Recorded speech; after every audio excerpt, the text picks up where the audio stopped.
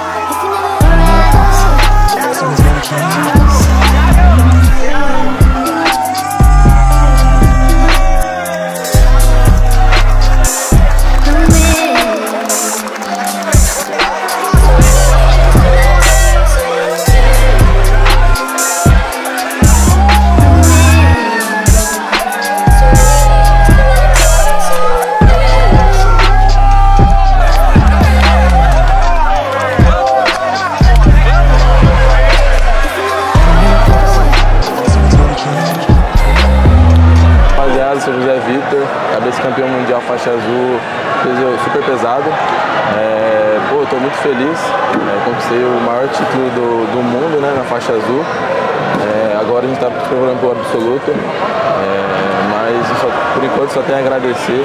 É, foi uma batalha muito grande para chegar até aqui. Para chegar no Driarte foi uma batalha que quase cheguei a desistir do jiu-jitsu é, por, por derrotas e por situações da minha vida. Valeu? Ganhou por mim. Obrigada, tá? Obrigada. Tchau, José. Tchau. Amanhã é campeã igual o José, meu Deus. Olha essa medalha. Parabéns, véi. Gostou muito. Obrigado. Pode ir? E foi uma batalha muito grande já no Dream Art, é, até antes do Dream Art também. Eu já pensei várias vezes em desistir do jiu-jitsu, mas é, Deus já me mostrou muitas, muitas vezes que é, pra, que é pra eu fazer isso. Isso aqui é a minha vida, que eu tenho um propósito no jiu-jitsu. É, muitos não sabem, mas eu já eu vendi, eu vendi açaí né, para pagar meus campeonatos. É, antes do Dream Art, né? Aí o Dream Art jogou uma proposta para mim. É, depois do Open Curitiba, e daí pra frente eu fui campeão brasileiro, fui campeão europeu. E agora ser campeão mundial, então é, a felicidade está enorme. É, agradecer minha mãe, meu pai, meus irmãos, é, agradecer o Piauí, o Isaac, todo mundo. É, também queria agradecer meus professores antes do Dream Art, que é o Juninho, que está morando, na, tá morando aqui nos Estados Unidos, o Leco, o Thales, que são faixa preta que me, me treinaram para chegar no Dream Art e tem total, eu tenho total certeza que se não fosse por eles eu não estaria aqui hoje. Então é isso, rapaziada. Campeão mundial, só tenho a agradecer a todo mundo. Os. Fala como é que ano passado como que você tinha ido? É, ano passado eu, o Dream Art me trouxe pro Mundial, é, eu fui campeão brasileiro e eu ganhei a vaga para vir pro Mundial. É, eu acho que eu, eu acabei perdendo a segunda luta, eu não peguei pódio, é, mas eu acho que foi uma experiência muito grande para mim, porque foi minha primeira viagem internacional, é, eu acho que eu me iludi um pouco com os Estados Unidos, porque eu queria conhecer tudo, é, cheguei querendo comer tudo, tava mal no peso, não que eu tava estourando no peso, mas sim eu tava comendo só besteira, porque aqui também é só fast food, sorvete, então acho que foi um aprendizado muito grande para mim. É, essa vez eu cheguei certinho, cheguei no peso, é, me alimentei bem E agora pode comer tudo, né? Agora pode comer fast food. E então, minha, meu mundial passado foi bem triste, mas foi um que me, acho que foi o que me deu mais sabedoria para chegar esse ano e ser campeão mundial. Tá muito bom, começa a balançar mais. Posição de domínio, é muito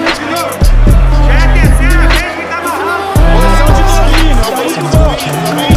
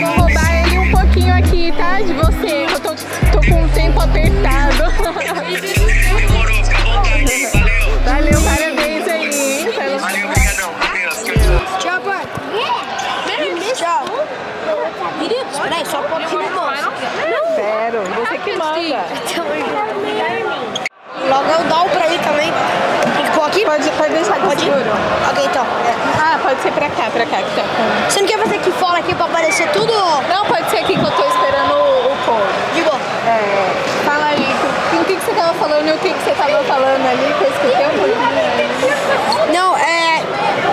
Do que, que você fala? Tipo, do, do meu telefone falando com meu pai? Não, tipo, é. Eu tava falando agora com meu tipo, que eu tava fazendo tudo certinho de marketing, tipo, pra meu patrocínio e pra, é, tipo, meu Instagram, porque sempre tem que estar adicionando as coisas no Instagram também. Porque se, às vezes não pode ficar sem, tipo, tá postando. Então, é, porque às vezes a gente perde muito o hype, entendeu? Então, tipo, tenho que ficar postando, tenho que ficar ativo no Instagram, sempre tá no active. E também é porque fazer isso, então não é só porque tem que ficar active ou porque, ah, é, tipo, é muito chato tal, não. É porque eu amo fazer isso, é meu marketing, eu curto, entendeu? E eu gosto de promover a Kings, eu gosto de promover os atletas da Art of Jiu-Jitsu, eu gosto de promover eu mesmo, entendeu? Então, tipo, eu gosto de promover a BJJF, então sempre tô aqui ativo no Instagram e ajudando meu pai é o que posta tudo, então é ele que, ele que edita, ele que posta, o Guilherme é o que confirma tudo, então tipo eu eu tenho que ficar, eu que tenho que me virar nessa parte de marketing, de fazer o vídeo, de fazer a foto, é, de, entendeu? De tudo que eu vou fazer, eu tenho, eu mesmo que tenho que fazer. Então eu que tenho que mandar o meu pai, meu pai mandava o Guilherme, o Guilherme conferir. Então, tipo, sempre eu tenho que estar ativo e fazendo tudo pra ficar ativo no Instagram com meus fãs e com a galerada aí de todo mundo.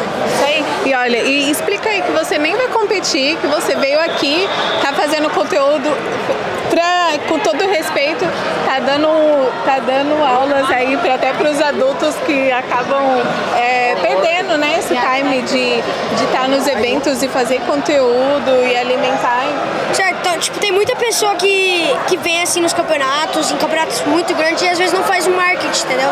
Tipo, tem vários patrocinadores que procuram isso de você, então, tipo, não tem como você exigir um patrocinador muito grande, porque você ganha campeonato e você não fazer esse marketing, entendeu? Então é muito importante isso. Tipo, eu nem vou competir hoje, mas eu tô aqui promovendo minha marca, campeonato, meus, os atletas da área de jiu-jitsu, então, meu, é, meus partners, então, tipo, eu sempre tô ativo, mesmo não competindo, entendeu? Então, tipo, é, tem muitos atletas que exigem um patrocinador muito grande, mas eles não dão marketing pra ter aquilo. Eles só acham que uma medalha de ouro de um campeonato grande vai trazer aquele patrocínio a ele, entendeu?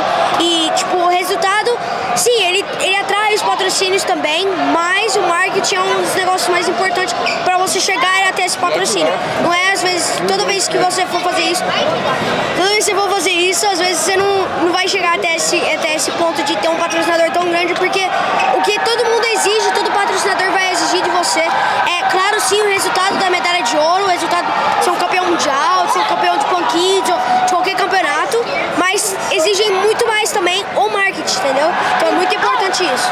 Sim. Agora mostra esse estilo aí. Pô, vai até ali. Tem como de- dar uma- um desfile aqui? ó?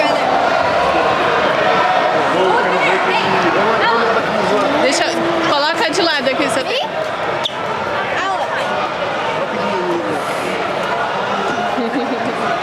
E esse estilo aí, fala aí. Tem que estar estiloso, né? Pô? Aí come- tem, que, tem que promover as coisas novas da 15 aí também. Galera, entra lá no website, não esquece de comprar aí as camisetas novas, kimono novo que tá lançando. É, va- lançou várias coisas novas agora, lançou várias camisetas novas da Kings. É, calças estão lançando também. É, o kimono Core 2.0 acabou de lançar. Não esquece de usar meu código ICAROJJ e, e compra alguns kimonos e camisetas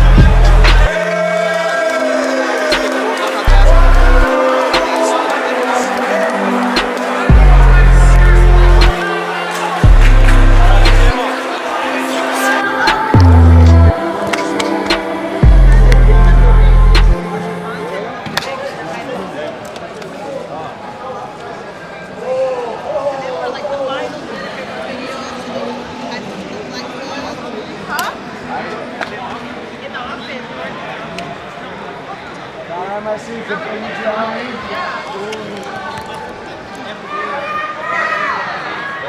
Fala aí, valeu a pena jogar comigo na casa. Fala aí, é. Da puta.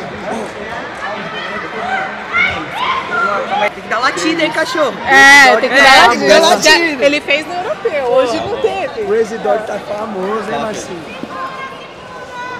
Tem que começar com latida. Amanhã, amanhã, amanhã, é nossa. Agora eu só quero entrevistar ele assim. Ah, Vai ser latido de Leste ou Pitbull? Pode colocar? não, pode deixar que eu seguro. Que fala o quê? Fala o quê? Primeiro latido. Ah, pode crer.